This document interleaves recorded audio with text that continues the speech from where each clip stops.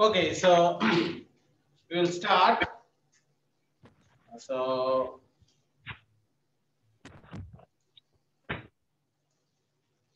right, so we were talking about iteration methods to solve system of linear equation, and then we see two uh, different types of systems. One is Jacobi iteration, and the other one is Gauss-Seidel iteration. And then we see what do we mean by a matrix is strictly diagonally dominant, right? And then we see that when we write A as I minus L minus U, we prove that the Jacobi iteration converges. But in general, we at the beginning we write the Jacobi iteration in the element-wise notation. So I will keep that notation and I will try to prove that the Jacobi iteration converges. Right. So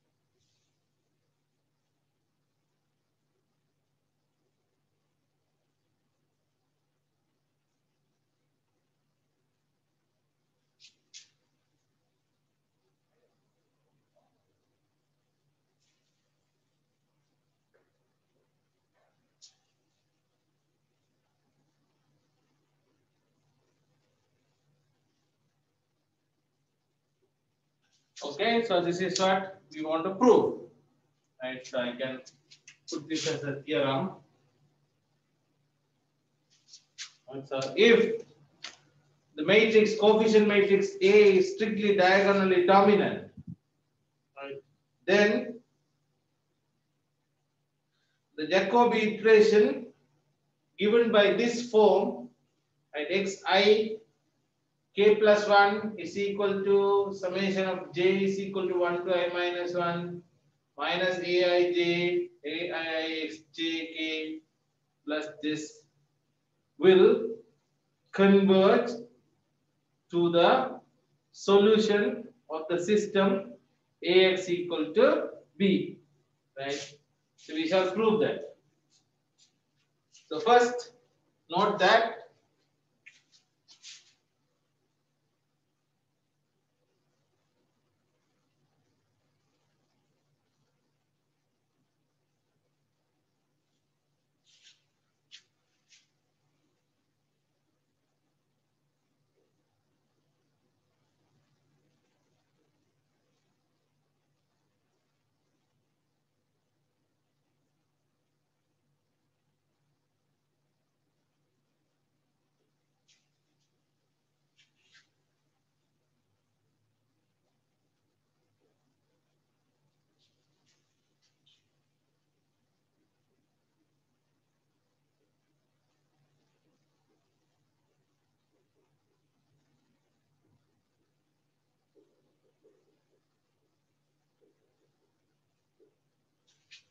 Right, so this is what you can get from the system AX equal to B, right?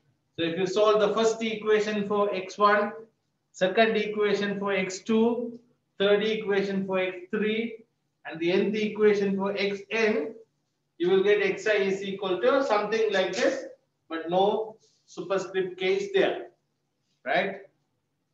So now what I am going to do is to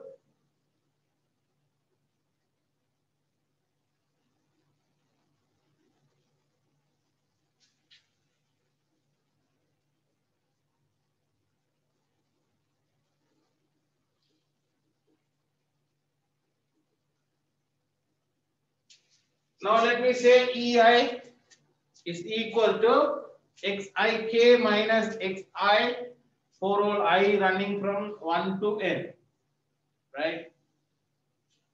So then this minus this, right?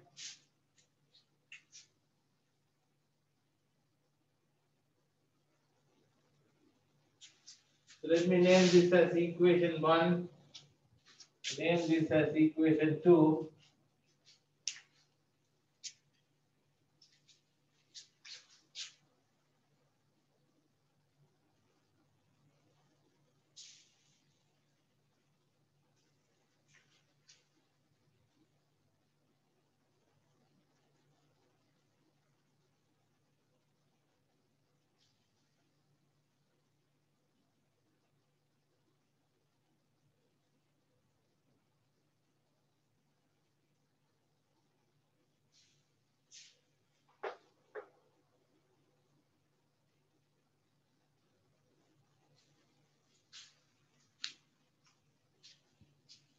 Right? So if you subtract 2 from 1, xik plus 1 minus xi, that you name it as eik plus 1, and summation of aij over aii is common in both, xj minus xjk minus xj, and that is what you do. So this is ej. This is 2 for all i is equal to 1, 2 to n. Okay, so you get this. I combine the two summations together and make it a summation i running from 1 to n with i not equal to j. Right? So if you put absolute value, so I will write it here.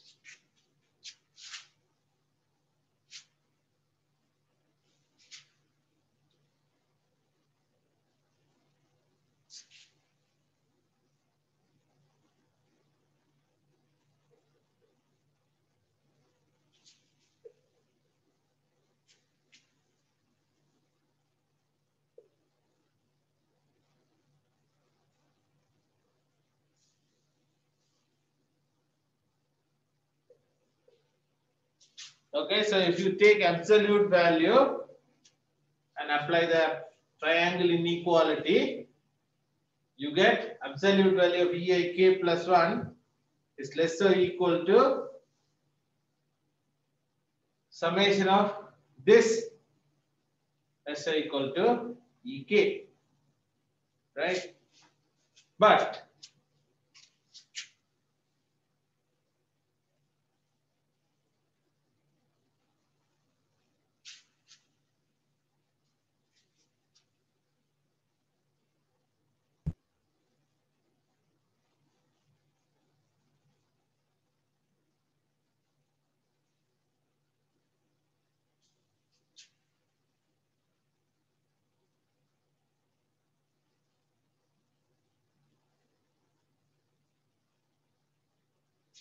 But the infinity norm of the matrix of the vector Ek is actually maximum among these numbers, right? So I can say maximum among these numbers.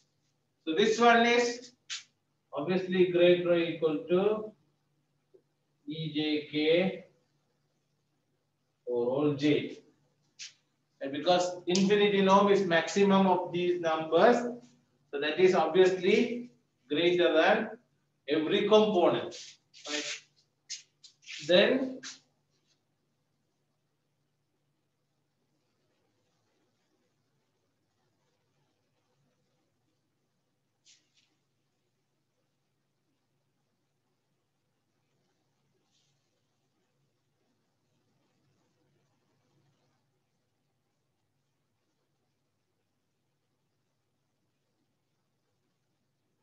Then from this you get EIK plus 1 in absolute value is less or equal to summation of j running from 1 to n absolute value aij over aii times norm of ek infinity norm. Right. So now what I am going to do is to I am going to take this.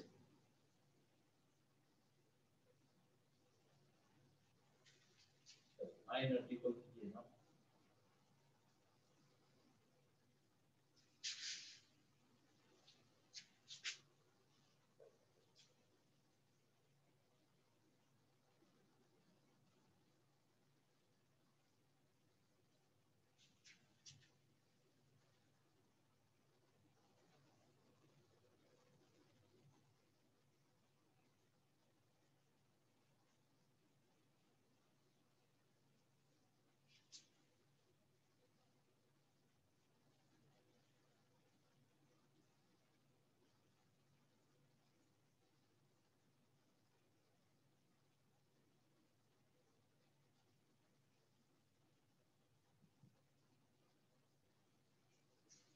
So now let us take mu as the maximum among these values.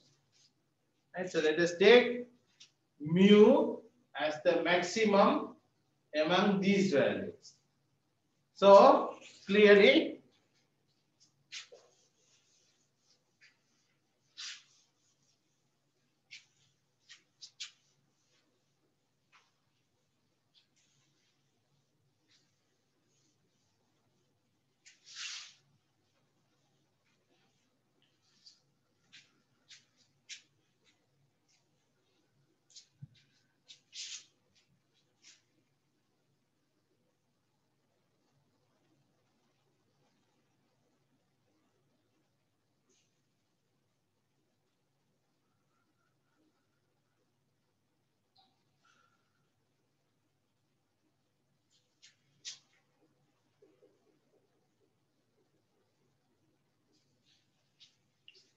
Okay, so if you take mu as the maximum of this summation over all i, then you can say that for every i, ei k plus an absolute value is less or equal to mu times norm of e infinity k. So now what I have is on the right hand side of the inequality, mu is independent of i and norm of ek infinity is independent of i. So I have both the terms independent of i, but on the left hand side, I have the term depending on i. So that means uh, ei absolute value of ei k plus 1 is less or equal to some fixed number for all i. So then clearly maximum among those numbers will also be smaller.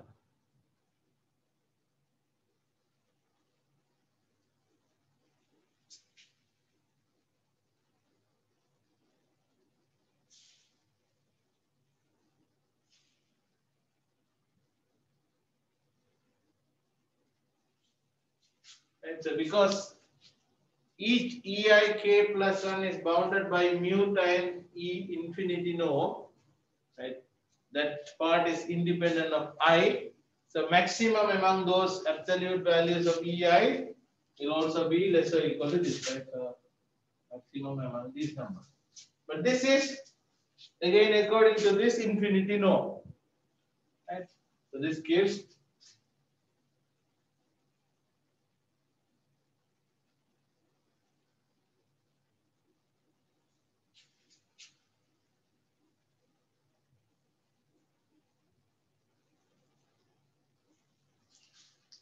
So what you have is ek plus 1 infinity norm is less or equal to mu e k infinity norm.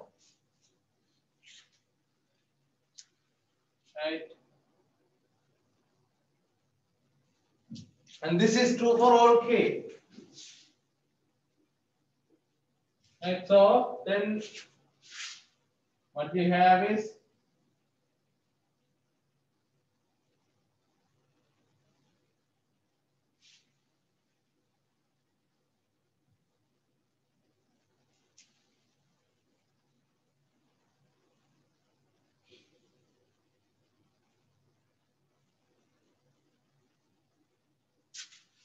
right? So you can say that E k plus 1 infinity norm is less or equal to mu times E k infinity.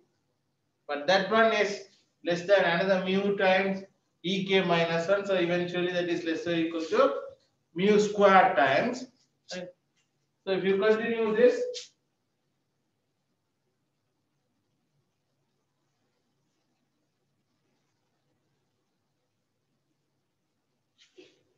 So Ek plus 1 infinity norm is less or equal to mu k plus 1 mu to the power k plus 1 times E naught infinity norm. Right?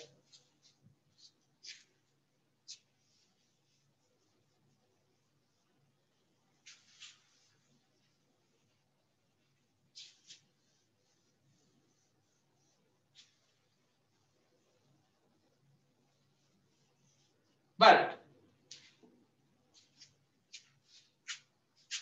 so you have this, right? So Ek plus 1 infinity norm is less or equal to mu to the power k plus 1 right? E naught infinity norm. The meaning of this is this, right? So this means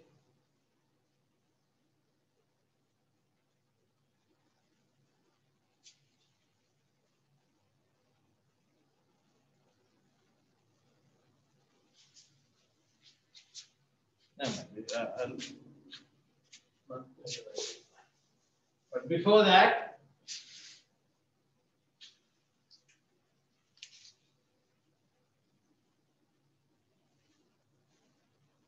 Right, so.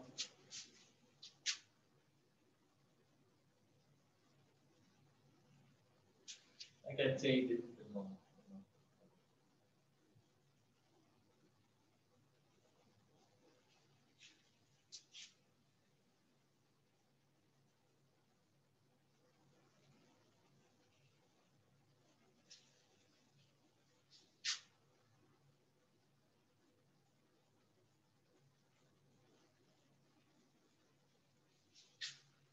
Right? So then you know the meaning of Ek plus 1 that is xk minus x, right? And is equal to mu k, mu k plus 1 and not minus x.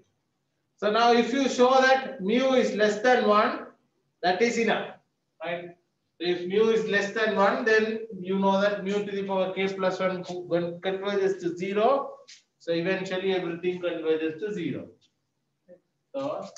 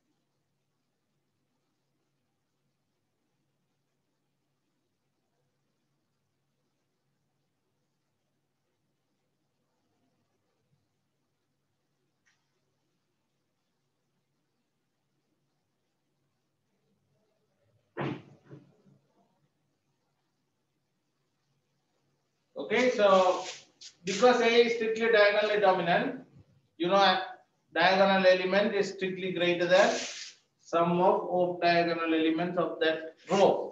So aii absolute value is greater than summation of aij absolute value of aij with j not equal to i. So if you divide by aii, you get one greater than this. And so this number is less than one for all i. So maximum of this number will also be less than one. But maximum of that number, we already defined this as mu. So you have mu less than one. Right? But here you have this go is less or equal to this. Right?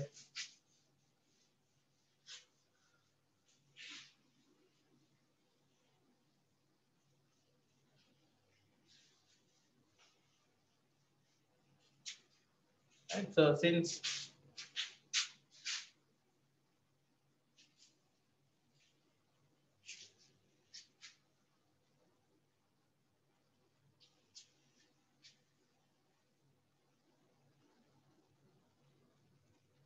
because mu is less than 1, mu to the power k plus 1 will converge to 0 as k goes to infinity. Right, so this is k goes to infinity. So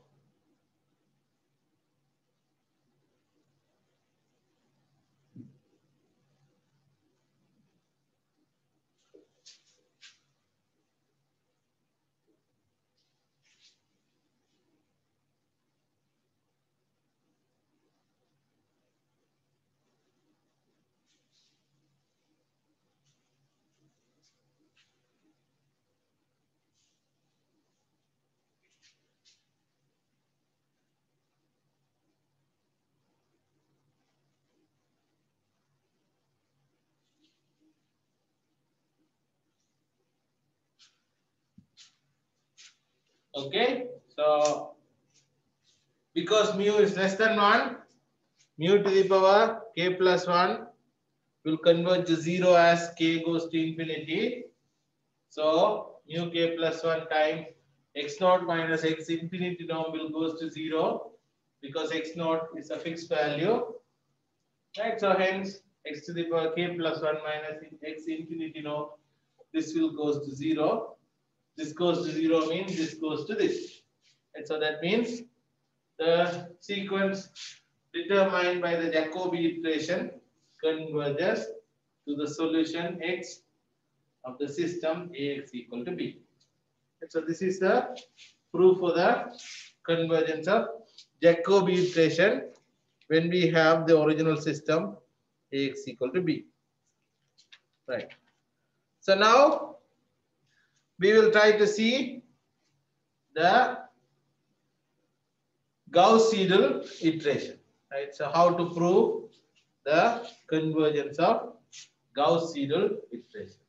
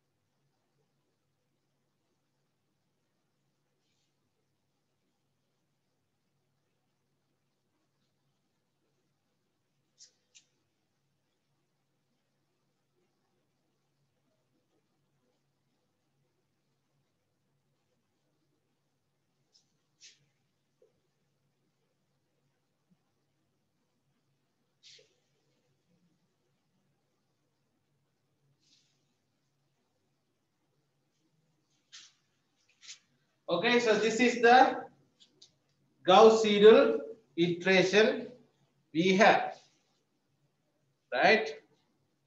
So this is how we define the Gauss-Seidel iteration when we are talking about element-wise computation, right? So we have defined Gauss-Seidel like this, right? But you know, this is clear, right? So this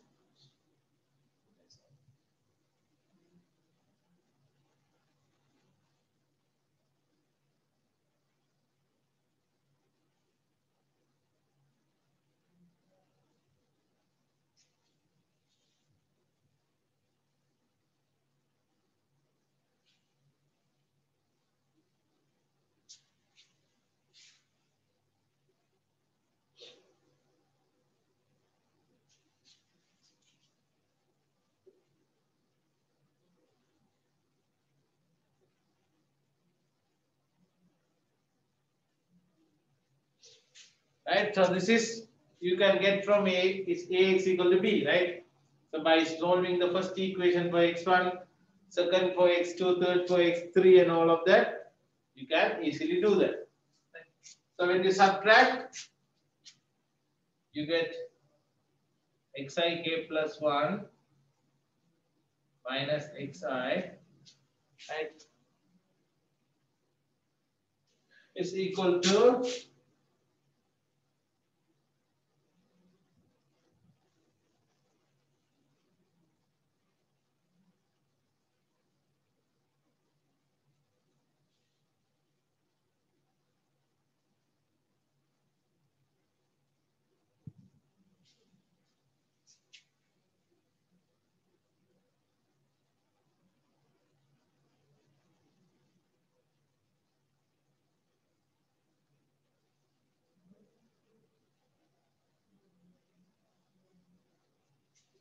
And because of this updation, right, you still have to keep the lower triangular part separately and upper triangular part separately, right?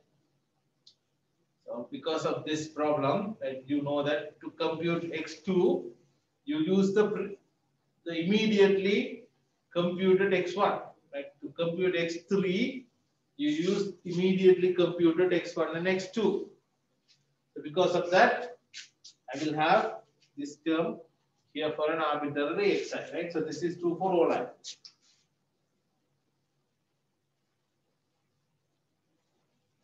So let us consider i is equal to one case first, right? So that is the simplest case. So I will show you that case.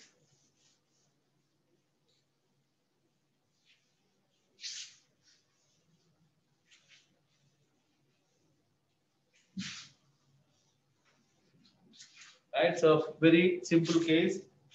I'll start with when i is equal to what? I'll, I can put the absolute value also. Right? So you know that x1, huh? x1 k plus 1 minus x1 is less or equal to summation of j running from 2 to n, right? Because i is 1 absolute value aij over aii times xj k minus xj right so this is what you have.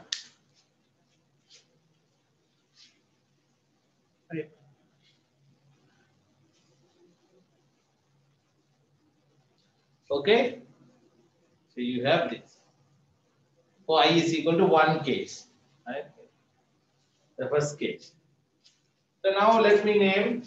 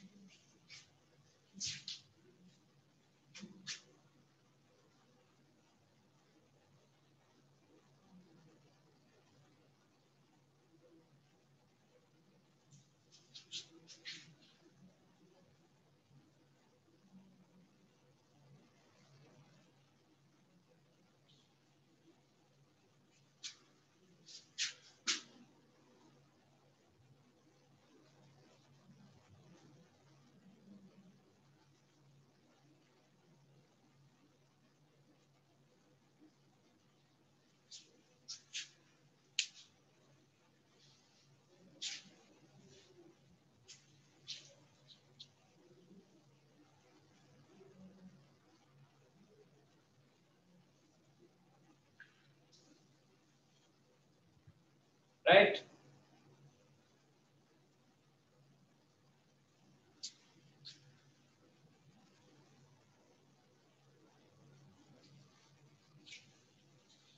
Right. So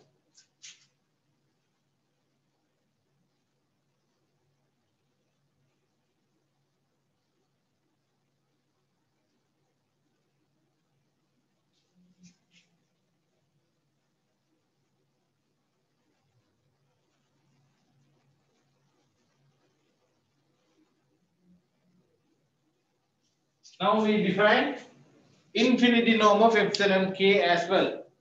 And so epsilon j k is xj k minus xj. So that is the difference between the real value and the k term for some j component and then you take the infinity norm. So, right, so what you have is this.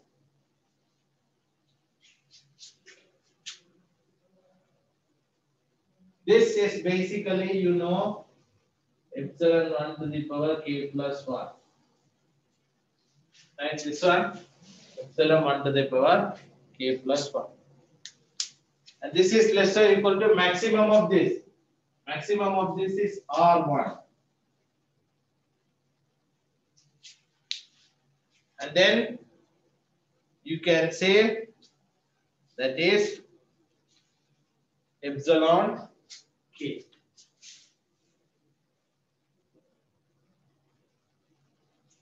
And so because this is epsilon j k and then you take the maximum of that, so that's eventually epsilon k. Right, so you have this. Right.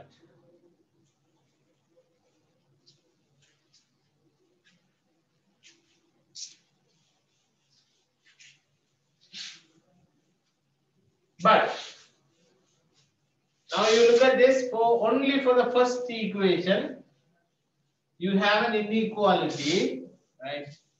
Epsilon 1 k plus 1, right, is less or equal to R1 epsilon k. So the problem is that depends on, on 1. So when you have 1 here, you have 1 there. So you have to get rid of that part right? So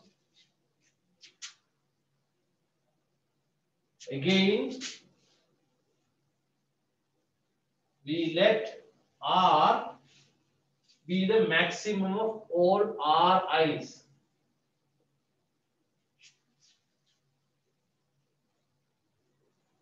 Right? So then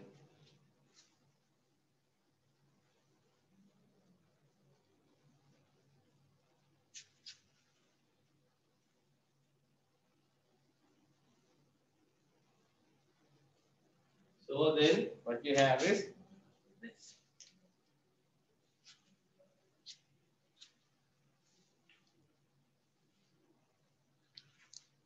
So for the first first equation, the first term, right?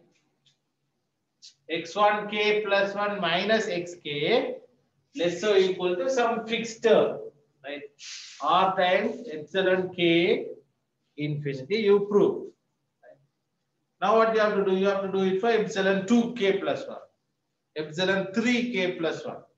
Like that you have to do for every term, right? So x2k plus 1 minus x2, you have to find and you have to do it. And then you find x2, x3k plus 1 minus x3 and you have to get an inequality like this. That is difficult, right? So again and again doing it. So what we do to show that thing up, we apply mathematical induction, right? So let us say for some j term, sorry, some t term, this kind of inequality is true, right? So assume that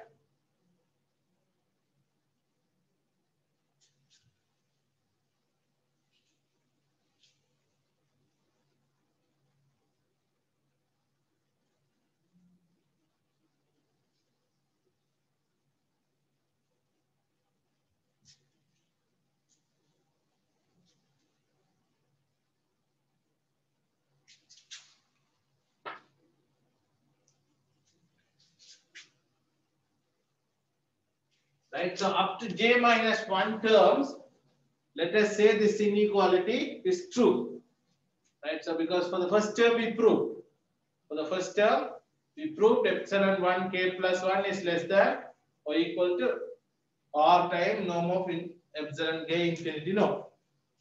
Now assume that it is true for some first j minus 1 terms. And if you prove it, it is true for the j term, then by mathematical induction, we can say it is true for all terms. Right? So let us say this.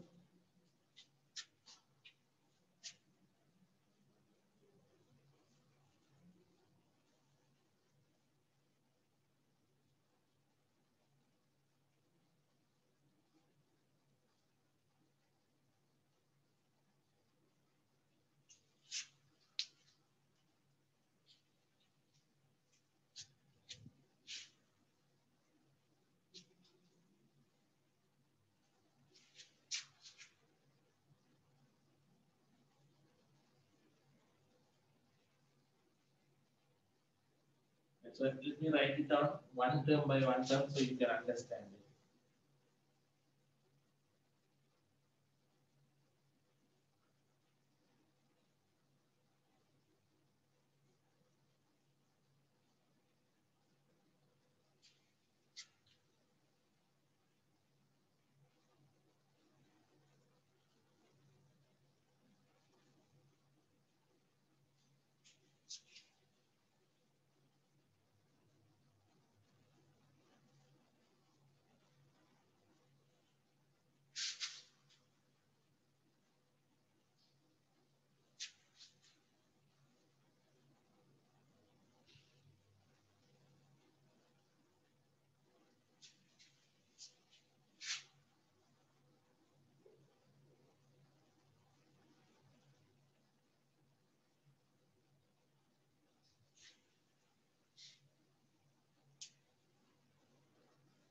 It is confusing. Let me change the notation so that you will easily understand. R minus 1.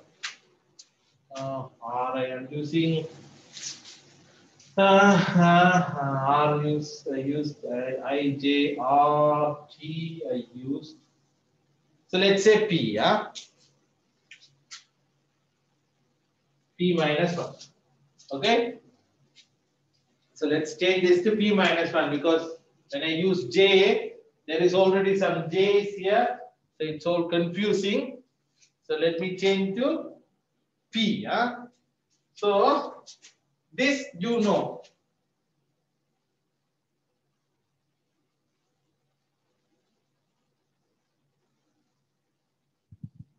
So when you put i is equal to p and so when you put I is equal to P in the equation which I write earlier, and so this is basically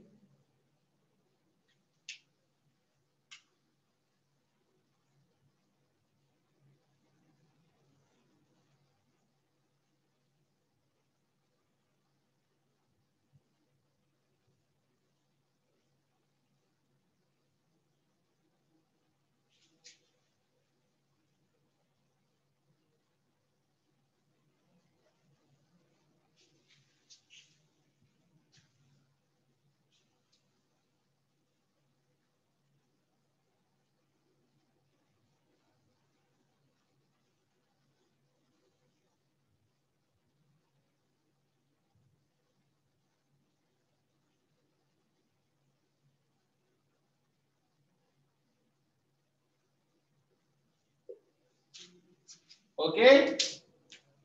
So in the original equation, the equation where I subtract the ax equal to b from the equation, right? And then I put i is equal to p, then you get xpk plus 1 minus xp is equal to summation of j running from 1 to p minus 1. This times xjk plus 1 minus xj, and then this term xjk minus this.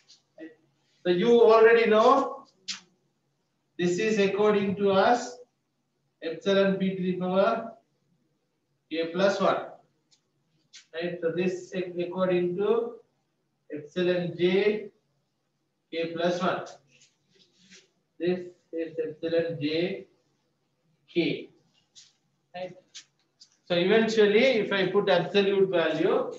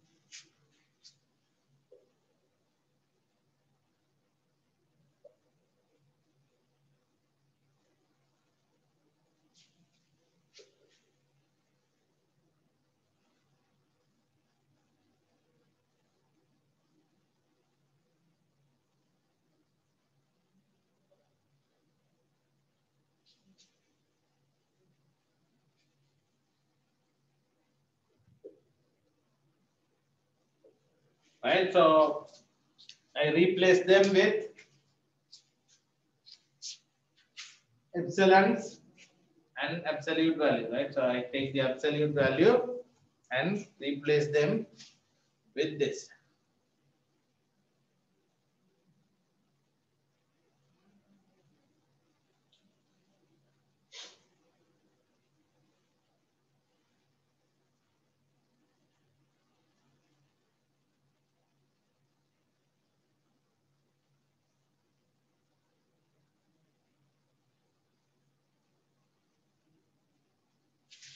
From this, right, the first epsilon, these terms, right, so let's say equal to, so this. Actually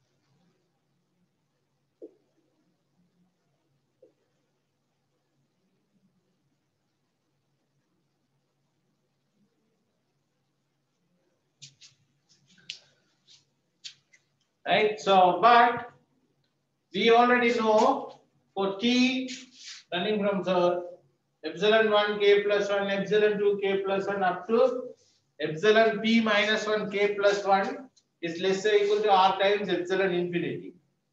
So up to here, these terms are less or equal to r times epsilon infinity. But in the previous step, we know that epsilon j to the power k is less or equal to infinity norm of epsilon this. So you combine this. So this is basically less or equal to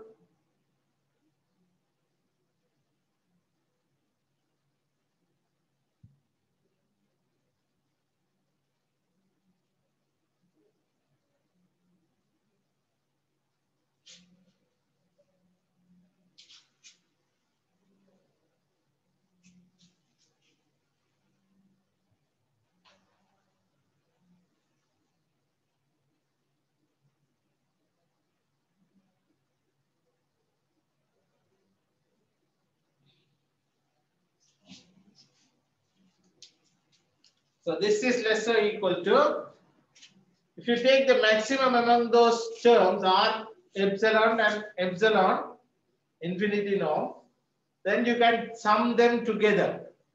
Right? So if you take the maximum among them, you can sum them together and you get this is less or equal to this. Right, so according to this, it's less or equal to RP times maximum of this.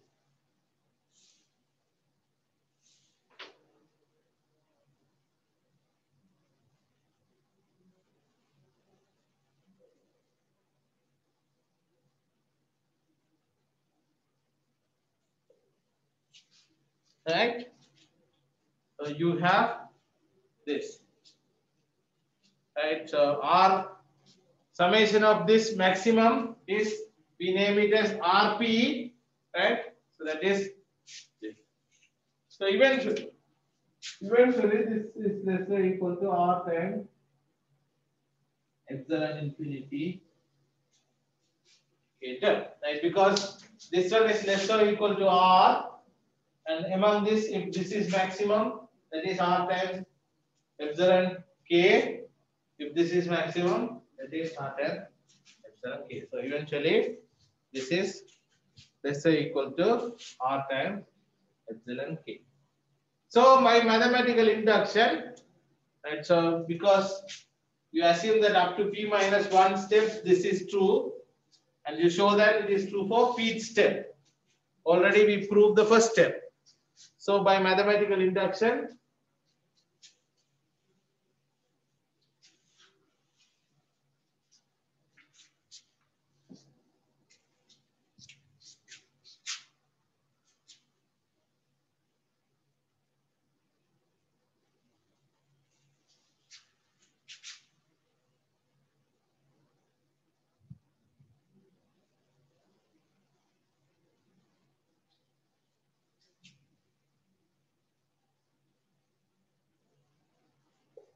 right? So by induction, epsilon i k is less or equal to r times epsilon infinity. Right? Now the rest is what we learned already. Right? So this says norm of epsilon k plus 1 infinity is less or equal to r times epsilon k infinity for all k. Right? So from this, you can easily show that.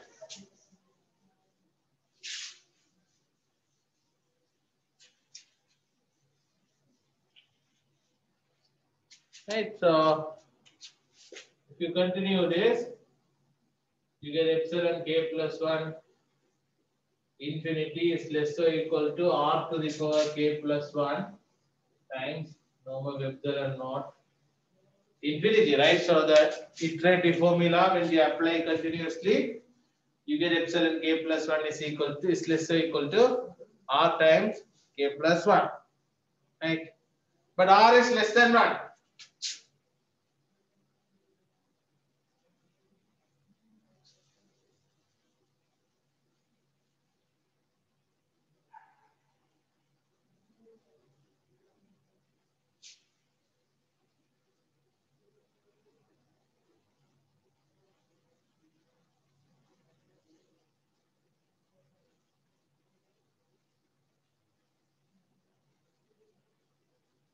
Right? So this argument also I proved in the Jacobi iteration. It is the same now here, right? Because R is maximum of summation of Aij over Aii, and we already prove, proved that this is less than 1. So R to the power k plus 1 converts to 0 as k goes to infinity. So you know that epsilon so you know xk plus 1 minus x infinity norm goes to 0 as k goes to infinity. Right? So that concludes the proof. Right? So here the only difference from Gauss-Seidel is uh, Jacobi is in Jacobi you don't need to do this part. Right? Everything follows off nicely because you have k plus 1 on the left side and only k on the right side.